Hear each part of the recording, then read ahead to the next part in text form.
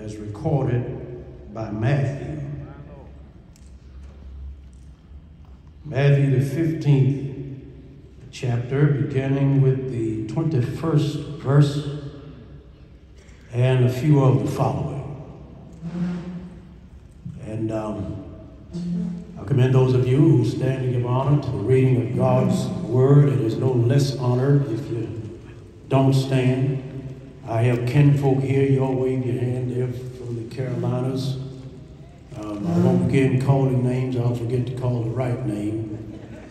And as you see me depart after the sermon, I, we're, moving to another space for another time and venue. So thank you for your understanding. And I've given my president an offering uh, for her and for her gift. And that's not a Missouri fact. It's a Chapman fact. He reads the word of God. Jesus left that place and went away to the district of Tyre and Sidon. Just then, a Canaanite woman from the region came out and started shouting, Have mercy on me, Lord, son of David.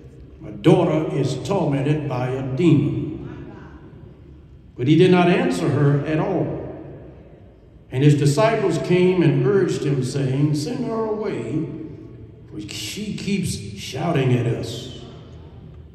He answered, I was sent only to the lost sheep of the house of Israel. But she came and knelt before him, saying, Lord, help me. He answered, It is not fair to take the children's food and throw it to the dogs. She said, Yes, Lord. Yet even the dogs eat the crumbs that fall from the master's table. And Jesus answered her, One great is your faith. Let it be done for you as you wish. And her daughter was healed instantly. I want to tell you today, particularly our women here, take your chance. Give God some praise for what He's about to tell you.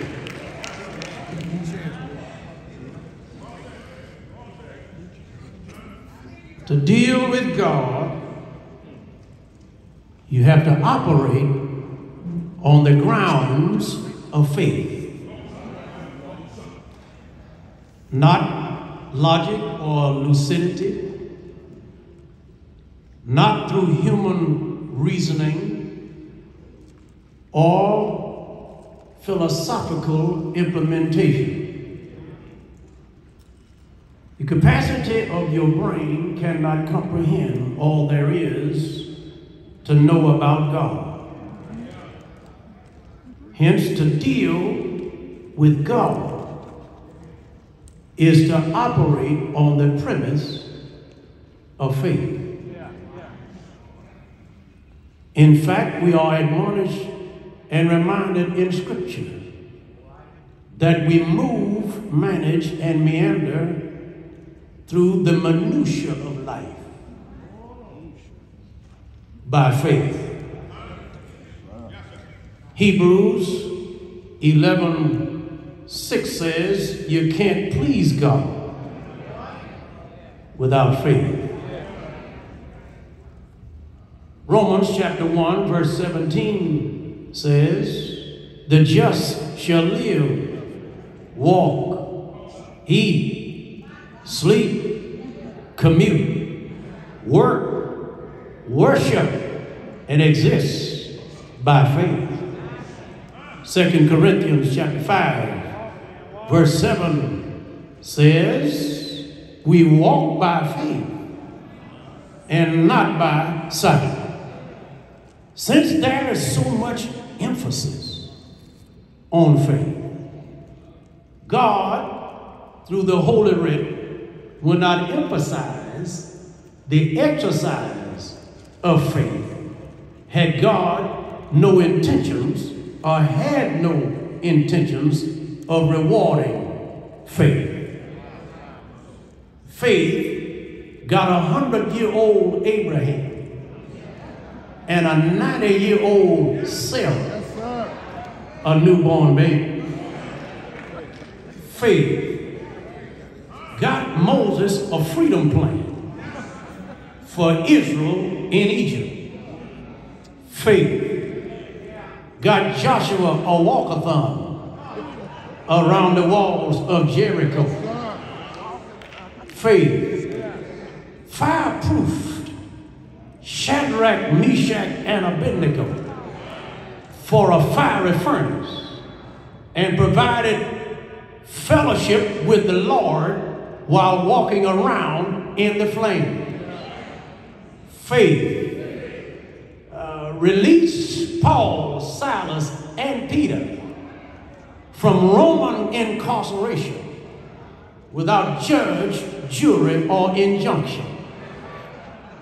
Faith Watch Jesus drop his head in the locks of his shoulders on Bad Friday and then witness his resurrection three days later from a cold and darkened grave. Faith got you here and where you are today. Here is how Andre Sonny Woods said it. Vanessa Bell Armstrong made such lyrical expression famous. He said, It is the kind of faith that can conquer anything. I have the faith that sees the invisible, expects the incredible, receives the impossible, because it is a faith that can conquer anything. Faith to reach the unreachable. Faith to remove the unmovable. Faith to defeat the unbeatable.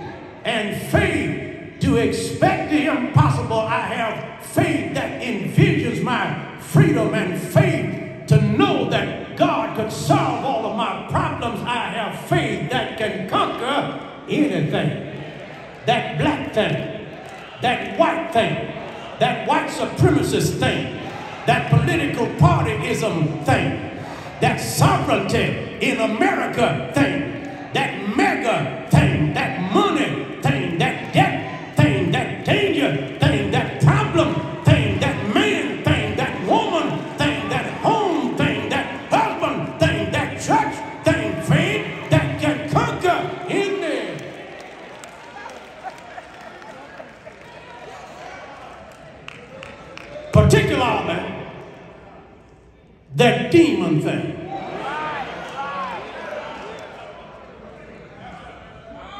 Because in all actuality, this is what plagues the world. This is what petrifies progress.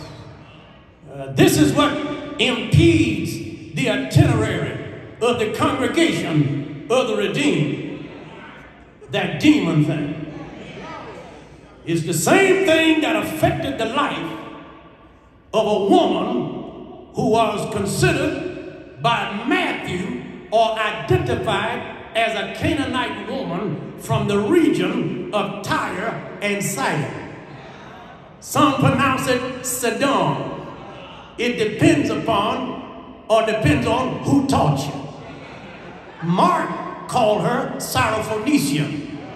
He did so because his audience were Greeks and therefore understood the appellation in that vein. Matthew called her a Canaanite because his audience were Jews. In either case, the identity references a Gentile who is or was referenced as a non Jew from the region of Tyre and Sidon. Tyre, in the Greek expression, literally means rock. Sidon or Sidon means hunting, which in Eastern culture, ancient Eastern culture, was a hard, tough task as they hunted with spear and arrow and knife. Thus, Jesus, in this instance, revealed to his immediate followers, otherwise described as Christians, that their ministry would always be met with a demon thing. That's described as being between a rock and a hard place. I want to say a word to every woman in this place today that if you are expecting ministry to be peaceful and pleasant and palatable and couchy and kosher and comfortable and congenial and without any kind of resistance, surprise, surprise, you got to deal with that demon thing. What has the world in the shape that it is in today is because of that demon thing. That, that instigated an insurrection against the United States of America was a demon thing. That, that kills people, innocent, defenseless people in the streets and goes into schoolhouses and gunned down children who went to learn but left in body bags were instigated by a demon thing. Our history is being pulled from bookshelves all over this nation because they are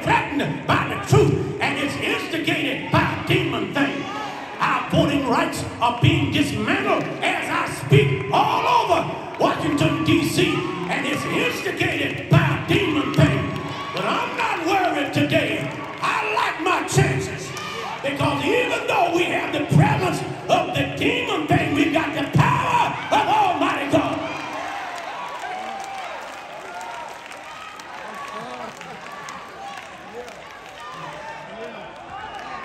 So don't you worry. Fret. Don't you become disheartened. Don't lose your heart. Hang in there. Maybe somebody give me some sound.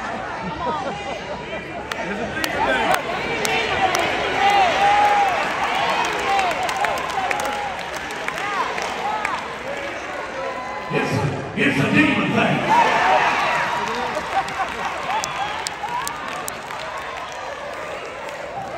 De- Demons, demons can affect physicality, but they can also interfere with technology.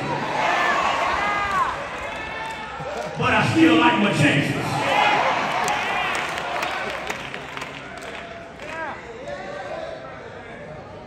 This woman, having had a problem with her daughter being possessed with a demon, in my black colored African American Negro Baptist preaching imagination, heard that Jesus was in town. Now, I don't know exactly the details of her information, but I believe she heard that he had a medicine cabinet in his coat tail. She heard that he had propensity and proclivity to affect fish and multiply fish without fishing and augment bread without planting seed or reaping harvest. And all this intrigue raised her awareness about a power that could penetrate her impervious situation at home. And she decided to take a chance on seeing Jesus.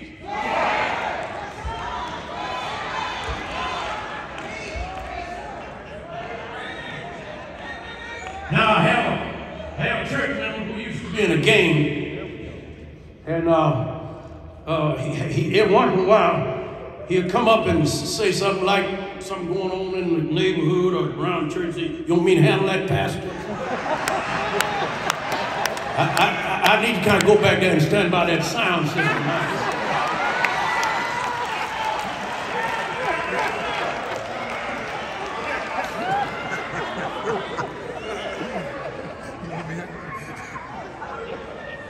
Well, since we are confronted with the demonic, it might seem um, as though um, it is an impossible entity to overcome.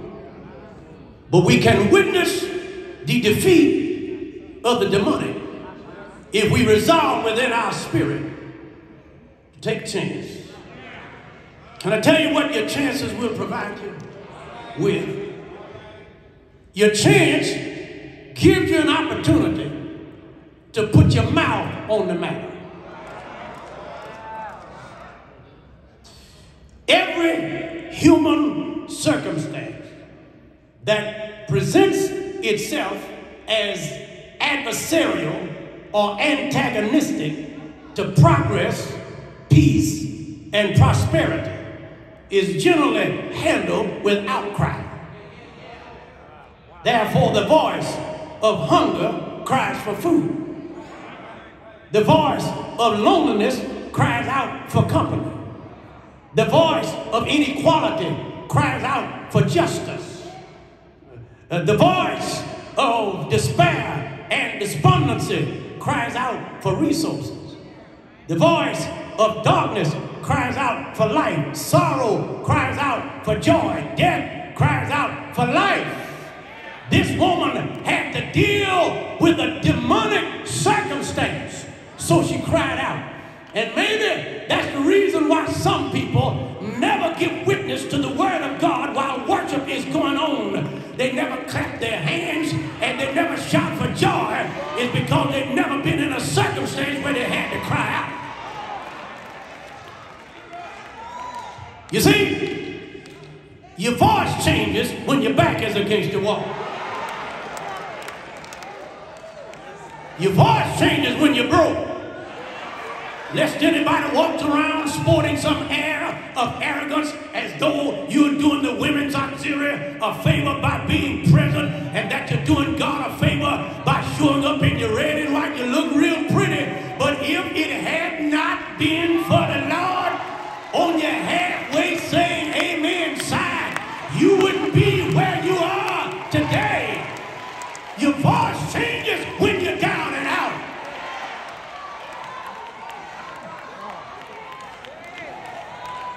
That's why some of these people in here, they, they're shouting hallelujah because they know how hurt feels. They're shouting praise the Lord because they know how it feels to have problems that you can't solve. They're shouting for joy because they know how it feels to suffer.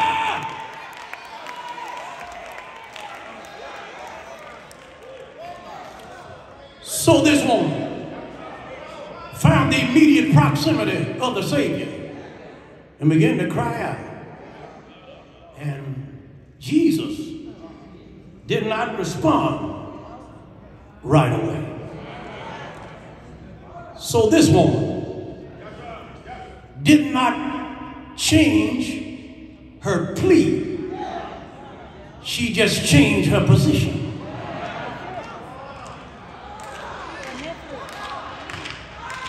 And until she assumed a different posture. Because there are a whole lot of people who are in God's ear, but they never bow at his feet. And when she made it to his feet, she shifted positions and got out of his ear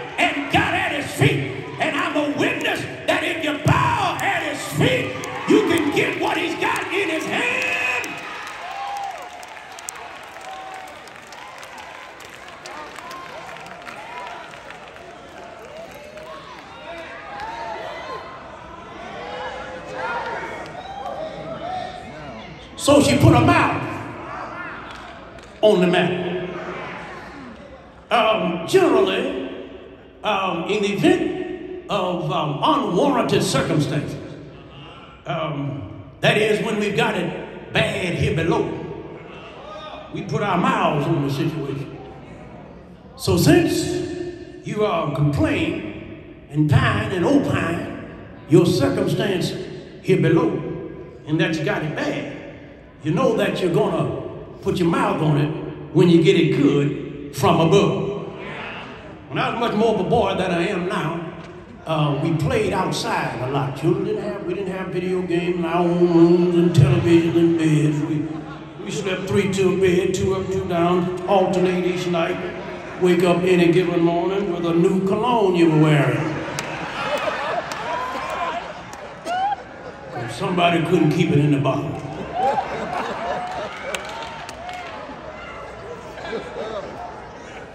But when we would play outside and got quiet, all of a sudden you would hear my mother or some adult somewhere in a neighboring house stand at a window or doorway and just ask, Y'all too quiet. What are y'all doing out there? My brothers and my sisters, as good as God has been to you, y'all are too quiet out there. You mean to tell me God has made a way for you and you won't sit there like a knot on a log? If God has made a way for you, you ought to put your mouth on it. Let the redeemed of the Lord say so. If he picked you up and turned you around, you ought to put your mouth on it. If he made your enemy your footstool, put your mouth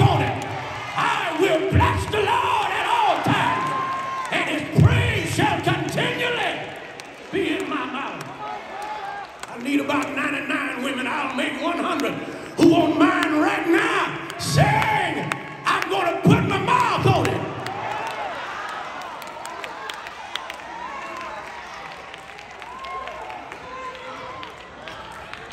You know, back in the country, they said something like this. Doc Smith, I said I wasn't going to tell nobody. But I couldn't keep it. Don't think some of y'all can keep it. When I think of the goodness of Jesus and all he's done for me, I'm so hallelujah. You got a chance now A chance enables you to get closer to the Savior. This woman cried out from a distance Jesus to do something. Lord, have mercy. He didn't answer. And he uh, nearly entertained a satanic suggestion as the disciples said to Jesus, relating misinformation, make her go away because she keeps crying after us. We had a mother of our church, Miss Rebecca Butler. She was a she was a full-figured woman. No offense to women who are blessed. Smell like a rose, dressed like a queen every Sunday. And Miss Butler had the gift of gab. And uh, she, everybody, everybody called everybody darling, everybody darling, so and so and so darling. And she would always come to our house at the end of church service and eat at our, our house. And one day she had the nerve to ask my father to say the blessing. I said, his house. She said, blessing, darling. You really say the blessing, darling. And my father bowed his head, everybody bowed, his, bowed, bowed their heads. And after a while, we heard my father, father's fork scraping the plate. And we raised up, my father was eating. And Miss Butler said, We didn't hear you pray, darling. You, you didn't pray. And my father said, Miss Butler, I wasn't talking to you.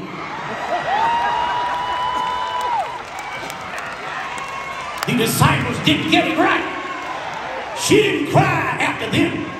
Certainly didn't cry out to Peter, he's too much of a denier.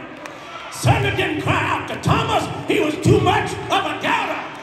Didn't cry out to Judas, he was the one who was a thief and a liar. My brothers and sisters, she cried out to the one who was able to give her some relief. Somebody in this place ought to be grateful today that you got a direct path to the Lord Almighty. The disciples didn't wake her up that morning. The disciples didn't wake you up this morning. The disciples didn't start you on your way. You need to cry out to somebody who can hear your cry and answer your call. I know I gotta go. I know I gotta go. I know I gotta go. She moved closer. Now we serve a God who can move quicker than right now. In the words of Caesar Arthur Walter Clark, God can move quicker than right now and sooner than at once. But friends, if you want God to move, you got to move closer to God. And when you move closer to God, you'll see seas become sidewalks. You'll see lines den become sleeping parties. You'll see fiery furnaces become fellowship halls. You'll see jail cells become worship centers when you get closer to God. Oh, I'm sorry. Let me let earth, wind, and fire tell you, I like the way he moves. At the Red Sea, he moved. In the lion's den, he moved. At Jericho, he moved. And one Friday, on a hill called Calvary, he moved. And three days later, he got up from the grave. I like the way he moves. He moved early this morning, stood by your bedside, and walked you up and started you on your way. I like the way he moved.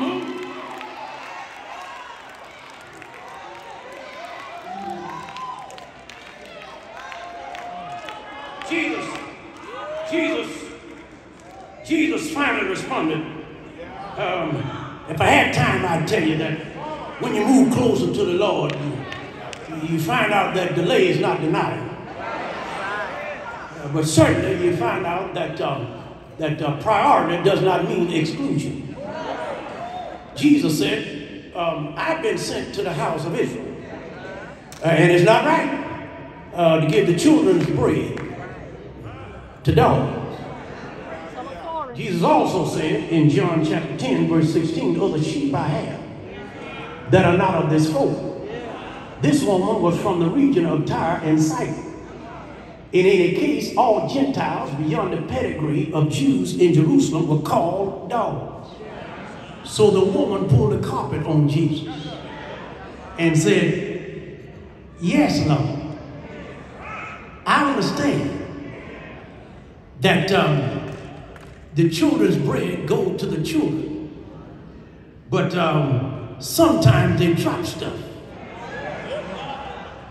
We have a miniature schnauzer in our house. Her name is Layla. We've had her for some 16 years, sweetest thing. And um, for many, many years, our granddaughter stayed with us in our house. And I don't know, she and Layla had a game going. When she didn't want her food, she kind of catch us looking off. And Layla developed a habit of just going and sitting by her chair because she knew something was going to fall. Come on, come on, paint it. So Layla didn't bark. Layla didn't whimper. Layla never whined. Layla just put herself in position. And when the crumbs dropped, Layla ate everything everybody else was eating and never went to her dog. Here for minute. This woman said to Jesus, I know in my colored imagination, preaching imagination, say, I don't know. I know you don't own German Shepherds, you don't own poodles, you don't own Shih Tzus or Schnauzers, you don't, you don't have Yorkshires or Pekingese, and, and, um, and you don't have any Pomeranians. Uh, but, but even though uh, I'm a dog, I'm your dog. And you do know that Jesus has. Jesus had some mean dogs, some mad dogs. Jesus had some messed up dogs, lazy dogs, stingy dogs, cheap dogs, bad dogs, selfish dogs. Some think they're the big dog, and some think they're the only dog. But whatever dog I am, I'm still in the house. You missed your shout cue. He didn't leave me on the outside. Least he let me in the house. And whatever falls from the master's table, I can survive on the master's throne. Talk to me, somebody.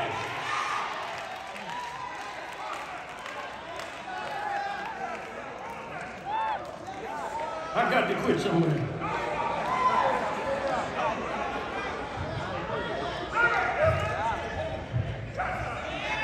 She said, Yes, Lord. But I'm in the house.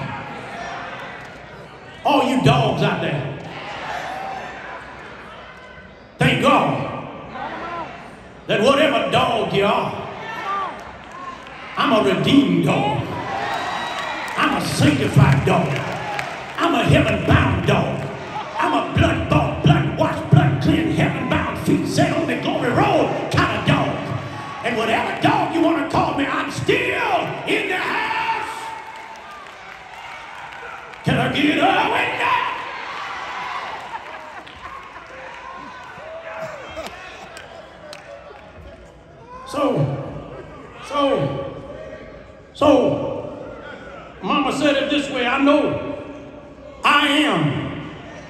child of God.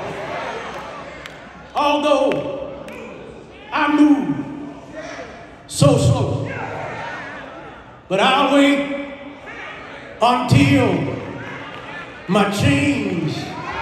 You don't mind if I celebrate a little? Just, you know, you, you, you, you know, black preacher, the, the black preacher celebrate. Eh? They, you got to holler or something.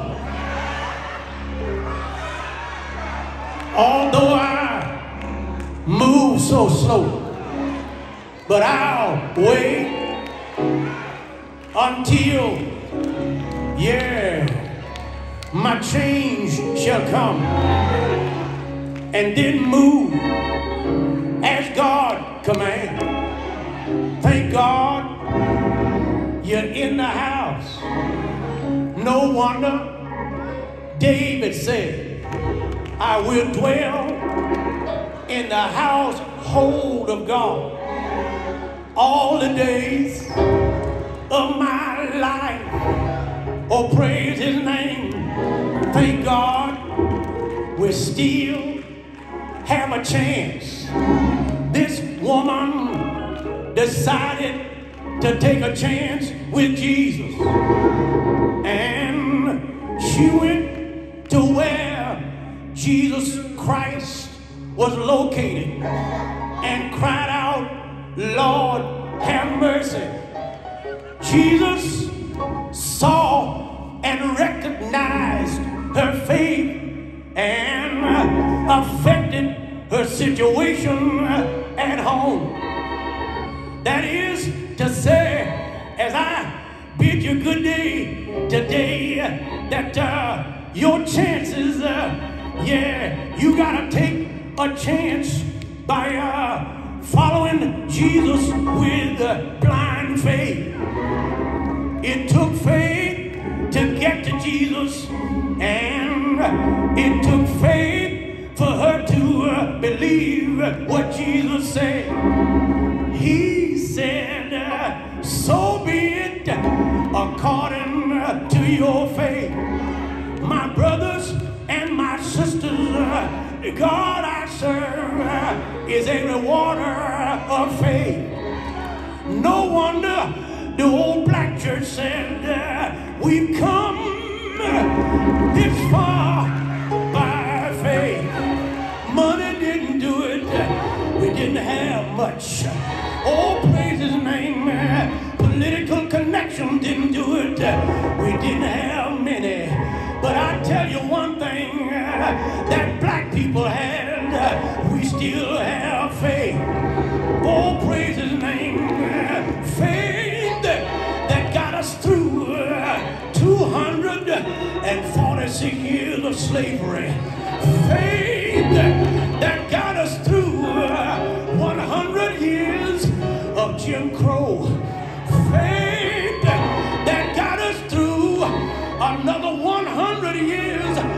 Systemic injustice. Faith that got us through cotton fields and wagon wheels. Faith that got us